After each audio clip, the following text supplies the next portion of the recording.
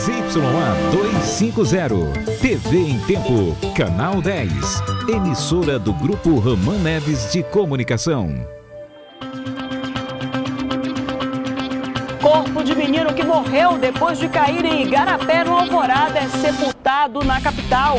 Mais de 300 mil pessoas são vacinadas contra a influenza em Manaus.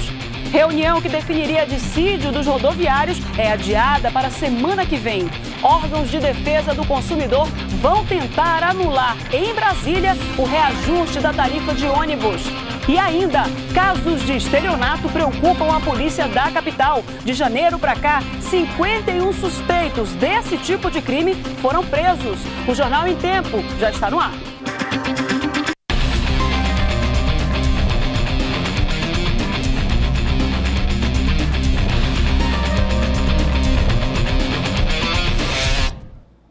Olá para você que acompanha o Jornal em Tempo pela internet. Foi sepultado hoje o corpo do menino que morreu depois de cair em Igarapé ontem, no Alvorada, zona centro-oeste da capital. O corpo do menino Guilherme Guerreiro, de 7 anos, foi velado nesta quadra de esportes, no Alvorada. Familiares e amigos fizeram homenagens. Essa dona de casa, amiga da mãe, desabafou. Tem que tomar providência, a prefeitura, pelo amor de Deus, gente. Olha o que aconteceu. Isso não é o primeiro caso, não. Isso é o segundo caso. Daniel foi quem tentou salvar o garoto assim que ele caiu no Igarapé. Pulemos dentro da água para ver se a gente conseguia segurar o menos o corpo, né? Que eu acho que quando ele caiu ali já foi batendo a cabeça dele, que ali é cheio de ferro, de de coisa e como não tem nenhuma proteção ele passou direto. Segundo os moradores aqui da área, foi exatamente nesse ponto que tudo aconteceu. O menino passava, chovia, a correnteza era muito forte, ele acabou escorregando e caiu no Igarapé. Foi nessa sarjeta que fica quase no mesmo nível da calçada da ponte. Ela foi feita para escorrer a água da chuva direto para o Igarapé. Não há grade de proteção e sequer tampa. Do outro lado, mais problema bueiro destampado. Eu fico abalada, abalada mesmo, porque a gente se põe no lugar da família, né? A família está muito triste. A tragédia chocou o bairro. Na escola onde o menino Guilherme estudava, não teve aula hoje. A morte dele foi parecida com a de André, de 6 anos, no mutirão, que caiu em um bueiro também durante a chuva no mês passado. O corpo de André ainda não foi liberado e continua no Instituto Médico Legal. Já o de Guilherme foi sepultado hoje à tarde. A polícia prendeu um homem com 45 quilos de drogas entre cocaína e maconha. Foi durante uma operação de combate ao tráfico aqui na capital. A droga estava na casa de Rafael Silva, o Gordinho, em Flores, zona centro-sul de Manaus. Com ele foram encontradas uma espingarda, munições, além de granadas. O Rafael ia fazer a entrega ontem, seguimos ele, ele não conseguiu fazer a entrega. No retorno à casa, nós fizemos a prisão dele e conseguimos aí fazer a apreensão de uma grande quantidade de drogas. Durante a operação, mas no Amazonino Mendes, na Zona Norte, a polícia prendeu Riley Álvares, conhecida como Moranguinho. No local foram apreendidos 350 pinos de cocaína, além de várias porções de entorpecentes. Ela já tinha sido presa duas vezes por tráfico de drogas. Nós começamos a monitorar Moranguinho. Ela tem um bar no Inferninho, dentro do mutirão, esse bar servia como ponto de tráfico. E para nossa surpresa, nós conseguimos detectar que ela não só é uma traficante, ela é o braço direito do comando do, do, do bairro do Mutirão. Isso para a gente é muito importante, porque era um elemento que a gente já vem investigando há dois anos atrás, desde a época da DEP. Os dois já foram encaminhados a presídios aqui da capital. Mais de 300 mil pessoas já se imunizaram contra o vírus influenza, a maioria idosos. Manaus atingiu mais da metade da meta de vacinação. Vacina é sinônimo de cara feia? Mas nem tanto assim, né? Não sentiu nada? Não doeu? Você é muito valente, sabia?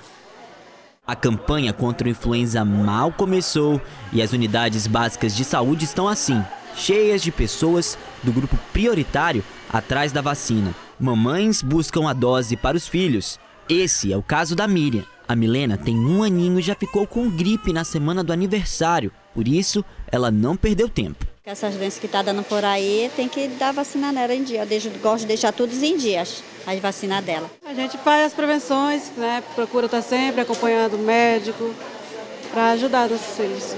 Mais de 300 mil pessoas do grupo de risco já se imunizaram contra doenças do influenza, como H1N1, H3N2 e o tipo B do influenza no Amazonas, um terço da meta em todo o estado. No centro de atenção do idoso, muita gente aguardava o atendimento. Todo ano eu tomo, eu não, não adoeço, não tenho gripe, não tenho nada. Tenho saúde. Os idosos são os que mais procuram a vacina. Só aqui no CAIME foram 60% da meta atendida, cerca de 624 idosos. Nós temos um balanço de 35% de cobertura no nosso estado.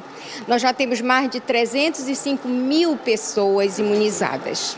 É, é claro que isso são, são dados até do dia 30 essa, nesta semana ainda não foi inseridos dados. Além dos idosos, outras pessoas do grupo de prioridades são atendidas por aqui. O seu Raimundo, de 62 anos, sabe como é difícil ficar doente nessa idade. É difícil porque demora, né? É uma base de 8 a 10 dias para você ficar curado, né?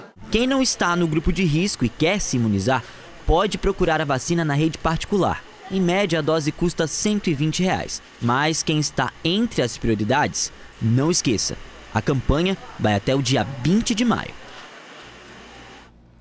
Foi lançada hoje a primeira Olimpíada Amazonense de Matemática. A competição quer incentivar os alunos da rede pública de ensino a criar gosto pelos números.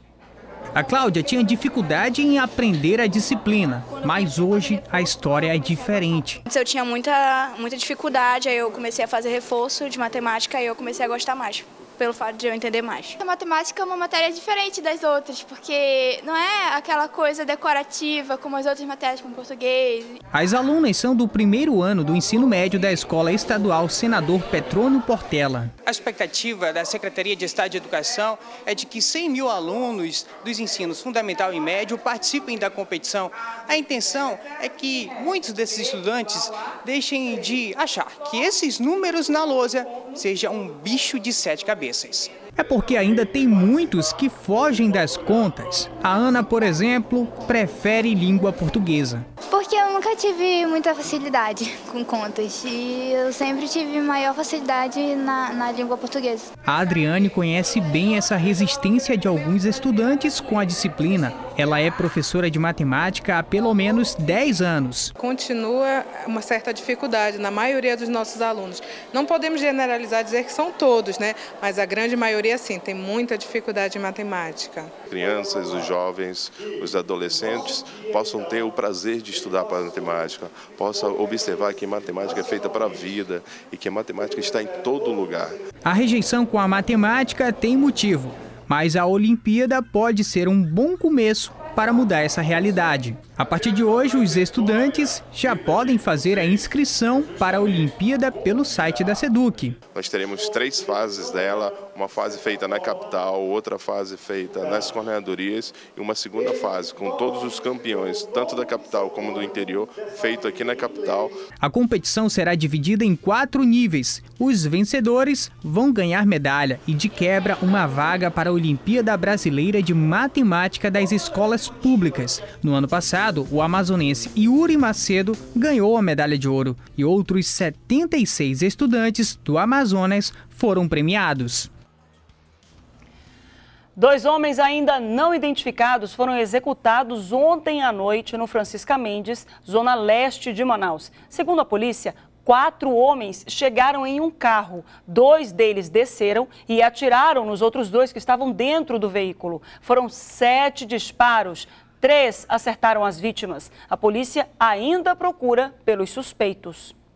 Daqui a pouco, a confusão na Câmara de Parintins depois do afastamento de dois vereadores. E ainda, casos de estelionato na capital preocupam a polícia. Já já.